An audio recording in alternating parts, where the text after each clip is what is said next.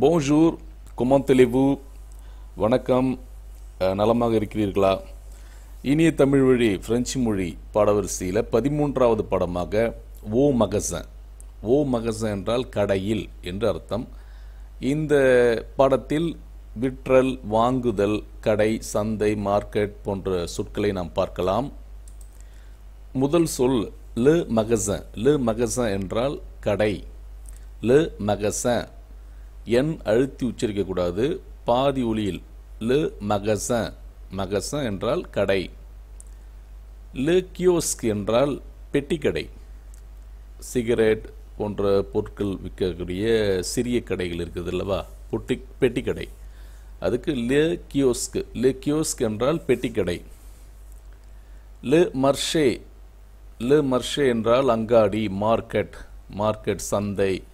என்று சொல்லலாம் மார்க்கெட் லு மர்ஷே லு மர்ஷே அங்காடி மார்க்கெட் லு சூப்பர் மர்ஷே பேரங்காடி சூப்பர் மார்க்கெட் லு சூப்பர் மர்ஷே லா புலாஞ்செரி லா புலாஞ்செரி என்றால் ரொட்டி கடை பேக்கரி லா லா புலாஞ்செரி ரொட்டி கடை பேக்கரி லா பூஷரி லா பூஷரி என்றால் கறிக்கடை.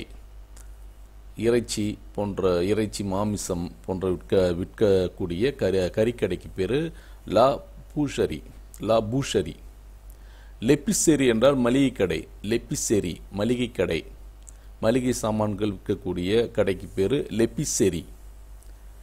லு மகசன் த லேகியூம் காய்கறி கடை. உங்களுக்கு ஏற்கனவே தெரிஞ்சிருக்கலாம் லேகியூம் என்றால் காய்கறி லேகியூம்.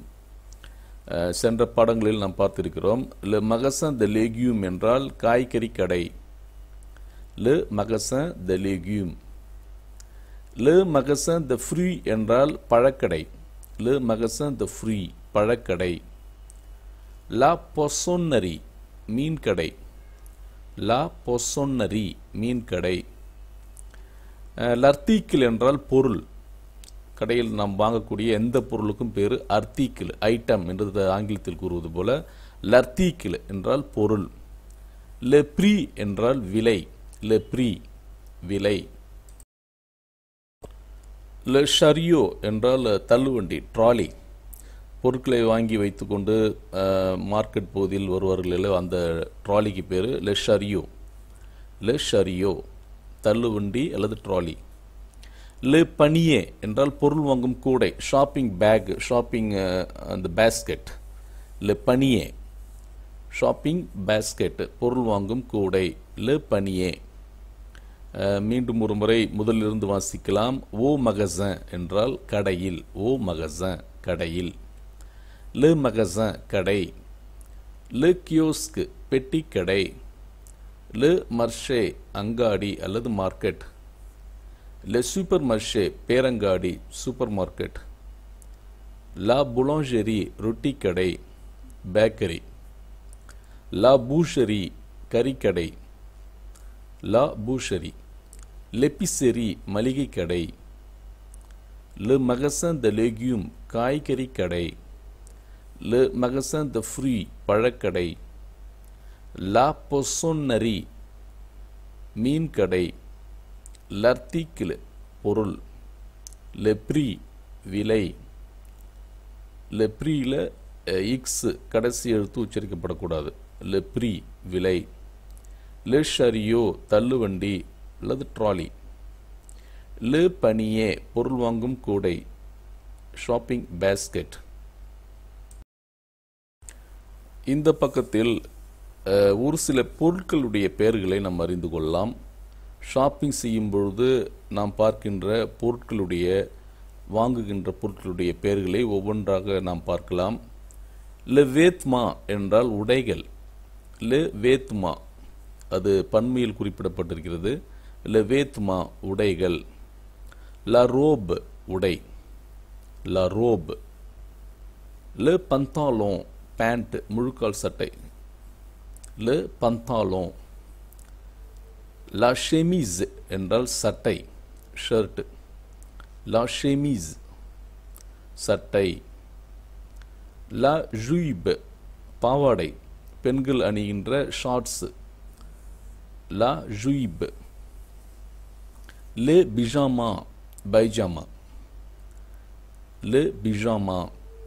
லே ஜீன் ஜீன்ஸ். le ஜீன் என்றால் ஃப்ரெஞ்சு பிரெஞ்சு மொழியில் ஜீன்ஸை குறிக்கும். லெ மாந்தோ மேல்கோட்டு கோட்டு கோட் ஷூட்டுன்னு சொல்கிறோம் அல்லவா அது? லெ மாந்தோ மேல்கோட்டு le டிஷர்ட் டிஷர்ட். லே டிஷர்ட். லெஷார்ப் லெஷார்ப் என்றால் துப்பட்டா.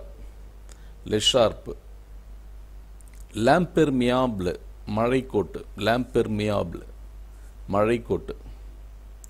ல கிரவாத் டை. லா கிரவாத் டை லா சாந்தூர் பெல்ட் லா சாந்தியூர் பெல்ட் லு ஷப்போ தொப்பி லு ஷப்போ தொப்பி லா ஷோசூர் காலனி அல்லது ஷூ ஷூவுக்கு தான் லா ஷோசியூர் என்று கூறுவார்கள் லா ஷோசியூர் லா ஷோசத் என்றால் சாக்ஸ் காலுறை. லா ஷொசத் காலுறை அல்லது சாக்ஸ். லே லூனத் கண்ணாடி. லே லியூனத் அது எப்பொழுதும் பன்மையில் தான் குறிப்பிடப்படும். லே லியூனத் கண்ணாடி. லே பிஜு நகை. லே பிஜு நகை. லே கொலியே கழுத்தணி அல்லது நெக்லஸ். லே கொலியே. லபாக் என்றால் மோதிரம் ரிங். லபாக். லா ஷெய்னத் சங்கிலி செயின். லா ஷெய்னத். லெபூக்குல் துறை காதணி கம்மல். லெபூக்குல் துறை என்றால் காதணி அல்லது கம்மல். மீண்டும் ஒரு முறை வாசிக்கலாம். லெவேத்மா உடைகள் லரோப் உடை லெ பந்தாலோ பேண்ட். ல ஷெமிஸ் சட்டை ல ஜூயிப் பாவாடை அல்லது ஷார்ட்ஸ். லெ பிஜாமா பைஜாமா லெ ஜீன் ஜீன்ஸ் லெ மாந்தோ மேல்கோட்டு லெ டிஷர்ட் டிஷர்ட் லெ ஷார்ப் துப்பட்டா லாம்பெர்மியாபிள் மழைக்கோட்டு ல கிரவாத் டை லா சாந்தியூர் பெல்ட் லெ ஷப்போ தொப்பி லஷோசீர் ஷூ அல்லது காலணி லஷோசத்து சாக்ஸ் காலுறை லெ கண்ணாடி லெபிஷு நகை லெக்கொலியே கழுத்தணி அல்லது நெக்லஸ் ல பாக் மோதிரம் லஷைனத் சங்கிலி செயின் லெபுக்ல் துரை காதணி அல்லது கம்மல். இப்பொழுது இந்த பக்கத்தில் பொருட்கள் சந்தை தொடர்பான சில வினைச்சொற்களை காண்போம். இந்த வினைச்சொற்கள் வாங்குவதற்கும் விற்பதற்கும் பொருட்களை மதிப்பிடுவதற்கும் நாம் பயன்படுத்தக்கூடிய வினைச்சொற்கள். இதை எவ்வாறு நாம் வாக்கிங்கில் அமைக்கலாம் என்பதையும் பார்க்கலாம். முதல் வினைச்சொல் மிக முக்கியமானது வாங்குதல் அஷத்தே வாங்குதல் என்பதற்கு பிரெஞ்சு மொழியில் அஷத்தே என்று கூறுவார்கள். அஷத்தே என்றால் வாங்குதல். அஷத்தே. ரஷத் என்றால் நான் வாங்குகிறேன். உங்களுக்கு ஏற்கனவே தெரியும். ழ என்பது புரோனோ நான் என்று கூறுவார். பிரெஞ்சில் நான் என்றால் ழ. ழ அஷத் ரஷத். அது ஏன் என்று அந்த அப்போஸ்டர் போட்டிருக்கிறார்கள் என்று ஏற்கனவே ஒரு பாடத்தை நான் விளக்கியிருக்கிறேன். ழ என்கின்ற நான் என்கின்ற பொருள்படுகின்ற ஷு அதனுடன் எ இணைந்து வரும்போது பக்கத்தில் அஷத்து அஷத்தில் ஆ என்கின்ற உயிரெழுத்து இணையும் போது இந்த ஏ விடுபட்டு அப்போஸ்டர் போடப்படும். அஷ் ரஷத் நான் வாங்குகிறேன். ரஷத். ரஷத் வின்மோந்த்ரு நான் ஒரு கடிகாரம் ஒரு வாட்ச் வாங்குகிறேன். ரஷத் வின்மோந்த்ரு மோந்த்ரு மோந்த்ரு என்றால் வாட்ச் கை கடிகாரம். ரஷத் உன் மோந்த்ரு வூஷ் அஷத்தே வூஸ் அஷத்தே நீங்கள் வாங்குகிறீர்கள். வூஸ் அஷத்தே த லேகியூம் நீங்கள் காய்கறிகள் வாங்குகிறீர்கள். லேகியூம் என்றால் காய்கறி. ஏற்கனவே நாம் பல பாடங்களில் இந்த இந்த சொற்களை பார்த்திருக்கிறோம். vous achetez des நீங்கள் வாங்குகிறீர்கள். நீங்கள் காய்கறிகள் வாங்குகிறீர்கள். vous achetez என்றால் நீங்கள் வாங்குகிறீர்கள். Vous achetez த லேக்யூம் என்றால் நீங்கள் காய்கறிகள் வாங்குகிறீர்கள். அடுத்து மிக முக்கியமான வினைச்சொல் விற்றல் விற்பனை செய்தல். வாந்த்ரு என்று கூறுவார்கள். வாந்த்ரு. வாந்த்ரு என்றால் விற்றல். வாந்த்ரு என்று அழுத்தி நீங்கள் கூறினால் அது வயிற்றை குறிக்கும். ஏற்கனவே உடல் பாகங்கள் என்ற தலைப்பிலே ஒரு காணொலியில் நான் விளக்கியிருக்கிறேன். வாந்த்ரு. தே உச்சரிப்பு சொன்னால் அது வயிற்றை குறிக்கும். இது வாந்த்ரு. மென்மையாக கூற வேண்டும். வாந்த்ரு. வாந்த்ரு என்றால் விற்றல் அல்லது விற்பனை செய்தல். Je வான் நான் விற்கிறேன். Je வான் அது இந்த சொல்லில் கடைசி தே எஸ் உச்சரிக்கக்கூடாது அது உச்சரிக்கப்படுவதில்லை. Je வான் என்றுதான் உச்சரிக்க வேண்டும். Je வான் நான் விற்கிறேன். Je vends லீவ் நான் புத்தகங்கள் விற்கிறேன். லீவ்ரு என்றால் புத்தகங்கள். பன்மையில் இருக்கிறது லீவ்ரு புத்தகங்கள். Je vends des நான் புத்தகங்கள் விற்கிறேன். Vous வாந்தே என்றால் நீங்கள் விற்கிறீர்கள் என்ற அர்த்தம். அதை வைத்து ஒரு ஒரு வாக்கியம் அமைக்கலாம். Vous வாந்தே des chaussures நீங்கள் காலணிகள் விற்கிறீர்கள். ஷூஸ் ஷோசியூர் என்றால் ஷூஸ் முன் பக்கத்தில் பார்த்தோம்.